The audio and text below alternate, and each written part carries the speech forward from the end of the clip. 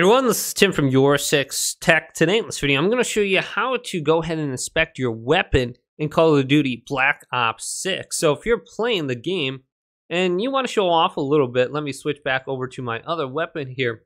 Well, it's easy to do this. Now, in the past, you would just hold down one of the buttons and you'd be able to inspect it.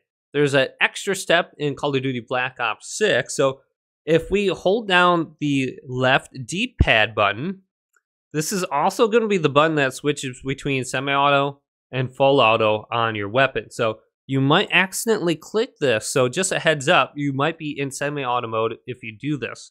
You want to hold down the button though. So that's just a press to switch the fire modes. Hold down left D-pad and this little screen is going to appear. So once you see this screen, you can let go of the left D-pad, then go down to inspect weapon and then press X on this. So if we press X on this, we're going to be able to inspect our weapon. And it doesn't seem like we can run around like we were in the past with it. So we can inspect it when we're standing still. Yeah, you take out the magazine and you tap it. That's kind of cool. And you're seeing the other side. Chamber's got a round in it. Let's do it with the pistol here and go to this. Press X on it and see if it's different animations. So it is kind of different animations. There's a round in the chamber again. So we're ready to fire.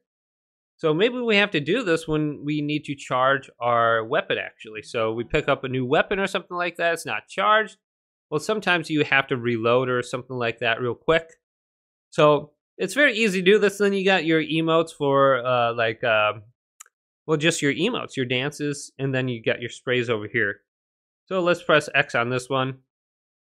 Yeah, kind of cool. All right, they're bringing these back.